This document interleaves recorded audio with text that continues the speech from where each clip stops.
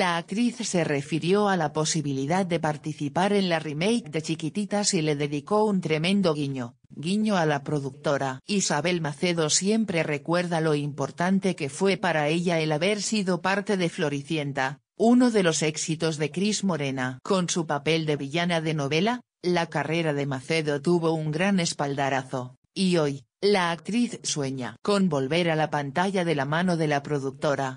Es que, en los últimos meses, a 27 años del estreno de Chiquititas, se supo que la mamá de Romina Yan, y Tomás Yankelevich estaba abocada a la remake de la tira infantil. En su momento, entre los nombres barajados para interpretar los papeles principales, el de Isabel sonaba fuerte, pero ella estaba embarazada. Si me llama Cris Morena, le digo que sí ayer, aseguró la actriz, en diálogo con Agarrate Catalina, sobre la posibilidad de ser parte del equipo de la adaptación que se transmitirá por HBO, toda una oportunidad para volver a la actuación luego de ser mamá por segunda vez. A mí me encantaría y no lo dudaría un segundo, antes de que suene el teléfono le digo que sí, sin atenderla.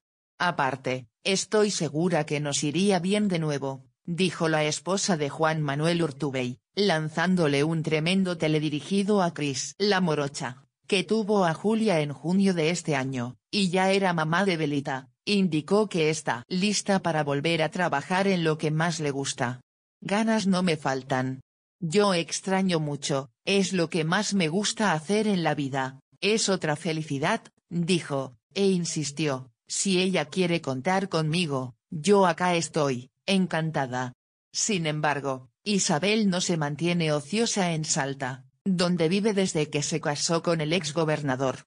Desde 2019 trabaja junto a una socia en un emprendimiento textil llamado Beneida, que significa bendecida en catalán, una marca de ropa de mujer que ya tiene sucursales en varias ciudades. Abrimos en Montevideo nuestro segundo local en Uruguay, y la próxima apertura será en Chile. Estamos creciendo mucho, le contó la artista a Catalina Dluji en el ciclo de la 1110 barra radio de la ciudad.